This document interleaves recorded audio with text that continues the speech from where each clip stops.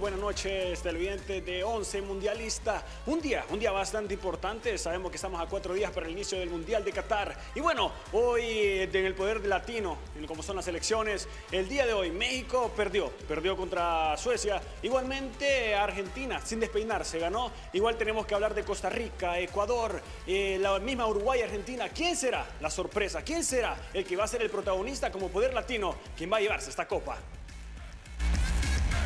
Pronto para iniciar la Copa del Mundo y el poder latino se centra en tres selecciones que buscarán el título, la Argentina de Lionel Scaloni con estrellas como el astro del fútbol Messi, Di María y De Paul. La albiceleste no solo es favorita, también llega al torneo con un invicto histórico y que además se verá las caras en el grupo C con otra potencia latina como lo es México, que aunque llega con un ciclo de amistosos agridulce que buscará llegar a su quinto partido en una Copa Mundial y Brasil, que por mucho tiempo ha sido la favorita para lograr el título más importante del fútbol. Con Neymar como la figura de este mundial, un seleccionado repleto de futbolistas jóvenes y muy prometedores, como Vinicius Junior, Rodrigo y Lucas Paquetá. La selección ha participado en los 21 mundiales disputados hasta el momento, habiendo sido campeón en 5 ocasiones y que lo convierte en el máximo ganador de la historia. Para 11 mundialista, Gabriela Núñez.